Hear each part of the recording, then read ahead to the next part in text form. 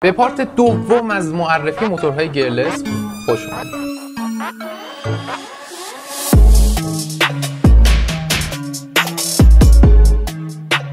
چه می‌کنه این موتور گیرلس؟ اول می‌خوام جواب سوال پست قبلی رو بهت بدم. این درپوش و این قسمت از موتور مربوط به سیستم حرکت دستی موتور ماست. حرکت دستی موتورهای گیرلس معمولا به این راحتی ها که توی موتورهای گیربکسی بود نیست.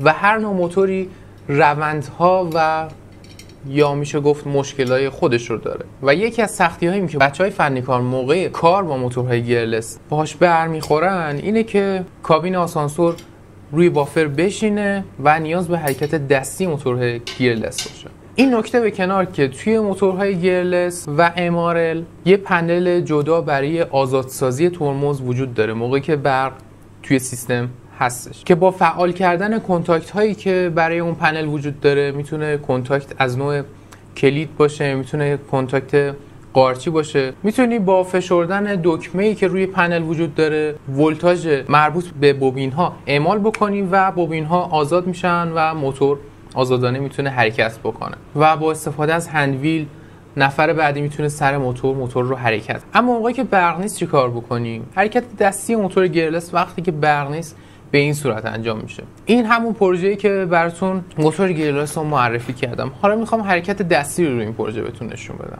اون درپوشی که بهتون نشون دادم که شامل یک دو شاخ کنتاکت هم هست که این کنتاکت میره جز سری ایمنی و این کارم منطقیه دیگه. چرا؟ چون وقتی شما این درپوش رو ور میداری یعنی می‌خوای دستی آسانسور رو تکون بدی و هیچ برقی نباید به موتور تزریق بشه و موتور نباید حرکت بکنه. که اگر این اتفاق بیفته می‌تونه خیلی خطرآفرین باشه برای کسی که داره دستی موتور اونجا حرکت میده و دستش به هندویل گیره. میرم سراغ هندویل. این هندویل و دو تا دسته ترمز توی این نوع موتورها توی موتورخونه قرار میدن در دسترس افرادی که توی موتورخونه حاضر میشن.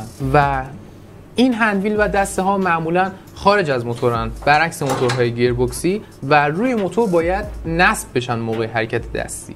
خب هندویل رو اینجا من نصب می‌کنم. تو جای مخصوص به این نوع موتورها جایی که هندویل توی موتورها داره می‌تونه خیلی متفاوت باشه. این نوع موتور هندویلش اینجا نصب میشه و می‌تونه مستقیما روتور رو حرکت بده و آسانسور ما رو جابجا جا بکنه. دسته های قرمزی که می‌بینید که روی فضای مخصوص به خودش روی قسمت ترمز نصب شد دسته های آزادسازی ترمزن که به صورت دستی لنت ترمز رو از روی دیسک خودشون جدا می‌کنن و اجازه میده که روتور موتور گیرلس ما آزادانه بتونه بچرخه و این اجازه رو داشته باشه. هر دو تا دسته روی هر دو ترمزی که به سمت چپ و سمت راست موتور قرار داره باید نصب بشه. این دسته ها چه به بالا چه به پایین وقتی حرکت می‌کنن نیرو اعمال میشه مستقیم به لنت ها و لنت ها رو به سمت عقب به سمت بیرون هدایت می‌کنه و باعث باز شدن لنت ها میشه. اگر بخوام آسانسور رو دستی تکون بدم دیسک ترمز رو باز کنم این دوتا دسته ترمز رو باید به سمت پایین همزمان یا به سمت بالا فشار بدم نیرو وارد بکنم و همزمان که اینها رو نگه داشتم و ترمز بازه هندویل رو بچرخونم و آسانسور رو حرکت بدم. این نمونه کار با موتور گرلس تو موقعی که برق نیست و می‌خوایم دستی حرکتش بدیم. حالا این موتورهای گرلس وقتی توی موتورخونه آسانسور قرار می‌گیرن به این صورت به دست به صورت دستی میشه بهشون دسترسی داشت. ولی وقتی آسانسور به صورت امارل نصب میشه و موتور آسانسور داخل چاه کابین آسانسور پایینه ته چاهه و نشسته رو بافر آیا امکان این هست که چنین کاری بکنیم؟ یعنی دو نفر فضا داشته باشن برن بالا سر موتور هندویل بذارن و آسانسور رو تکون بدن؟ آیا اصلا نیازی به این کار هست وقتی برق نیست و می‌خوایم کابین آسانسور رو جابجا جا بکنیم؟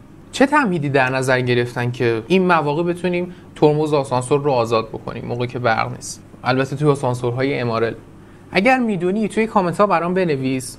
خوشحال میشم که نظراتتون رو بدونم و به یک جنبندی برسیم توی کامنت ها با هم دیگه و بتونم باهاتون صحبت بکنم تو کامنت ها از همین الان اگر تجربه ای دارید بنویسید و اگر چیزهای بیشتری می‌خواید درباره موتورهای گرلس بدونی توی کامنت ها بنویس تا ویدیوشو برات بسازم.